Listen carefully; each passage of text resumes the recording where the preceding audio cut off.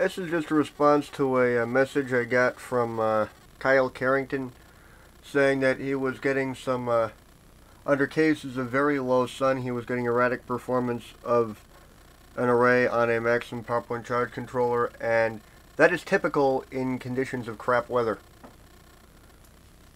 Uh, because virtually all maximum power point charge controllers have a minimum specified power rating for the array if they're not getting that much power from the array, they don't work properly because the algorithm can't adequately track the uh, array. In the case of a BZ Products uh, MPPT250 series charge controllers, that is about 17 watts, and the minimum recommended array size is 68 watts. And right now I'm getting about 1 ampere. It was, before it was, um, which is actually the best I've seen from this all day because it's really kind of nasty and crap out.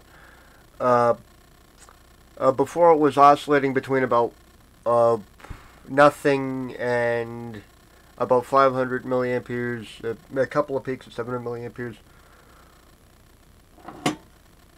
Whereas if you look at the array, also if you're doing a test like this, you want to make sure that the array is uh, disconnected.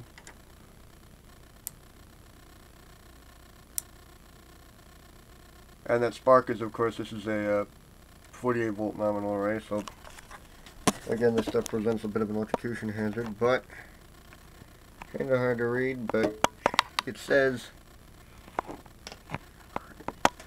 uh, 0.64 amperes, 0.65 amperes or so. Yeah. But anyways, um, so yeah, that kind of uh, crap performance is typical. It's up to 1.8 amperes now. Guess the clouds must be thinning because before it was pretty intermittent. But for some reason these BZ Products units, if you uh, if it's acting intermittent like that, all you need to do is just disconnect the array and reconnect it again. And uh, well, sometimes it'll work, sometimes it'll. Uh, ah, but um, anyways. Uh, click and yeah, see it's uh, kind of oscillating around. But then again, this is fairly typical with the maximum power point charge controller. Uh, is that they will they just can't adequately uh, track the array. Maximum power point, so erratic operation is to be expected uh, in cases of low sun. That's just one little thing about maximum power point uh, charge controllers. In cases like this, of course, you'd need an array that was at the proper potential for your battery bank. You couldn't get away with a much higher potential array like what I'm doing here.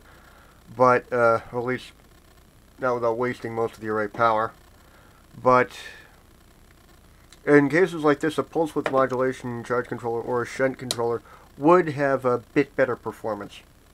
But uh, that's just one thing about these, although these are much better for cases where you've got much uh, more sun and whatever. But, uh, so yeah, this is just one little caveat about maximum power point charge controllers.